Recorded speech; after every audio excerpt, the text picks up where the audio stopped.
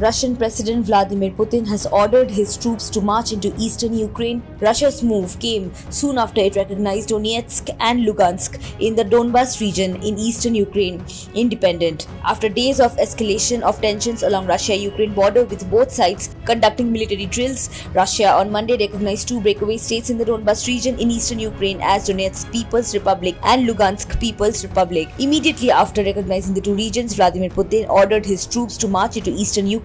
Russia termed the move a necessity to keep the peace.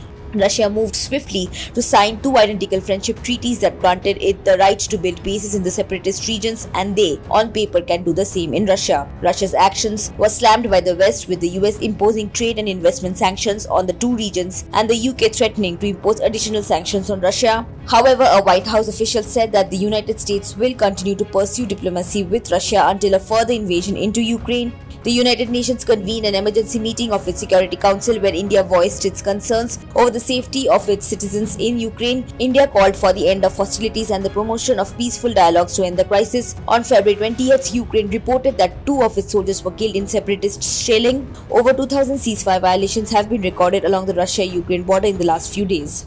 Subscribe to Oneindia channel and never miss an update.